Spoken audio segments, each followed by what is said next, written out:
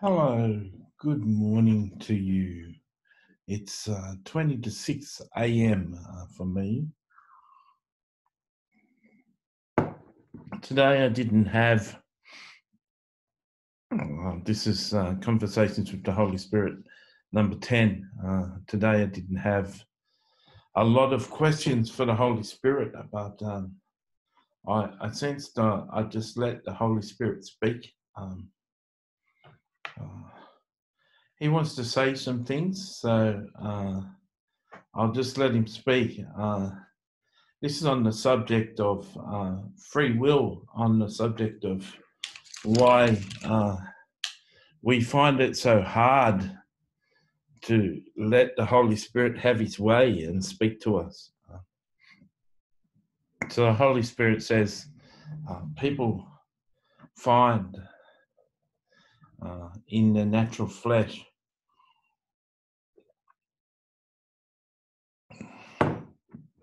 That they're resistant to things of the Holy Spirit, to things of God. Uh, Paul uh, spoke about this resistance in his epistles. Matthew, uh, he thinks it's Corinthians, but he doesn't know specifically the epistles that uh, Paul spoke about this, but he did. He spoke about how um, the natural flesh is that is is in enmity with uh, my spirit, the Holy Spirit, and uh, that uh, the wisdom of God is foolishness to men, and the carnal mind cannot receive the wisdom of God, and uh, the wisdom of God flows through uh, my Holy Spirit, and uh, and so uh, acting according to the leading of the Holy Spirit uh, can seem contrary, can seem counter uh, what's uh, natural for flesh. many times I'll inspire you. I'll put the thought in your intuition to do a certain thing. And your mind will reject that thought. Uh, send Matthew a thousand dollars. Your mind may say Matthew's got enough money. he doesn't need a thousand dollars from me. And uh, there may be a return thought, send Matthew a thousand dollars. And uh, you may even get on uh, Facebook and ask Matthew, "Are you short of money right now?" Just to check that uh, you really heard right. Uh, that's just an example. I'm not asking for Matthew's not asking for a thousand dollars. Um, people they don't understand that our ways are best people have no understanding that uh, the ways of God are the best ways for them. They they uh, they have no comprehension uh, that uh, the plan directed by us, the, the thoughts, the ideals, the concerns, the directions that we have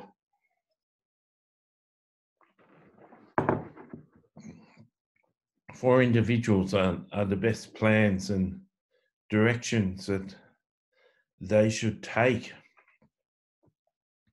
And so people act contrary to, uh, people act different, people act opposite to what uh, we desire.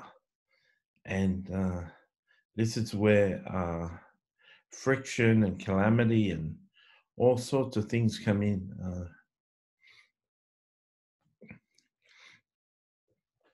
I guess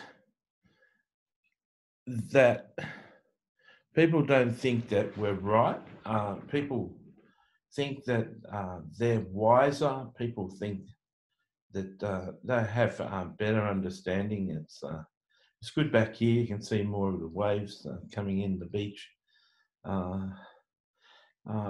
people think that they understand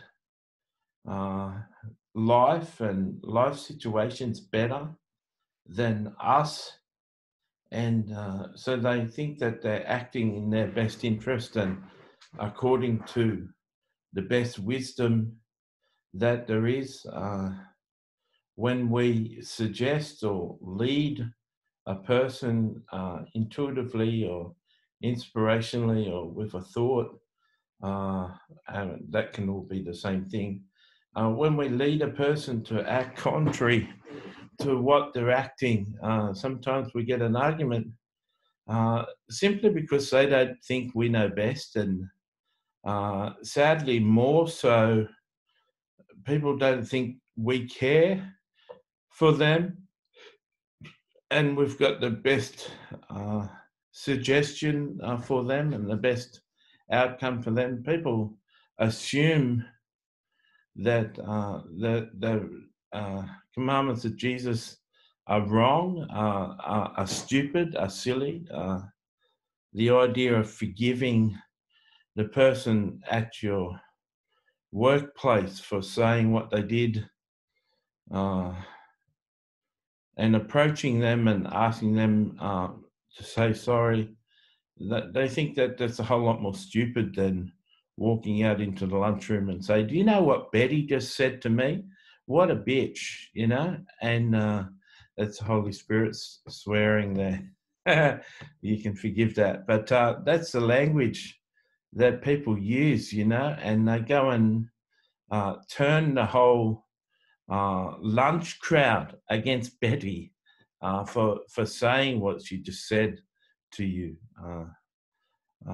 Uh, uh, they assume that that's the best course of direction rather than going to Betty and asking for her for, uh, to her to say sorry and uh, forgiving Betty. Uh, they think that uh, uh, saying gossip, spreading rumors is better. And if you look through the the commandments of Jesus, all the commandments of Jesus, the fifty commandments of Jesus, there'll be a counter thing that the flesh finds natural. Uh, when someone asks you a favor, uh, can you help them move house?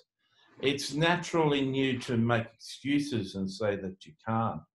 Uh, when someone uh, uh, comes against you and wants something off you, it's natural for you to fight for yourself and uh, and try and have your way and not have their way.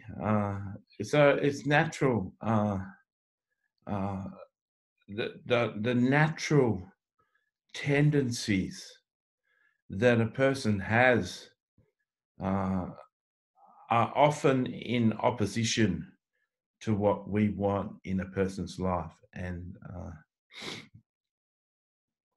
like anything, uh, it requires practice uh, to to walk in the Spirit and to be directed by the Holy Spirit each day.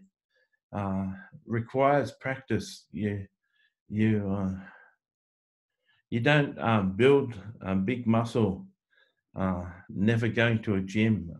you you got to continually lift harder and harder weights and do more and more exercise to build muscle and uh, you, you don't uh, become obese without eating.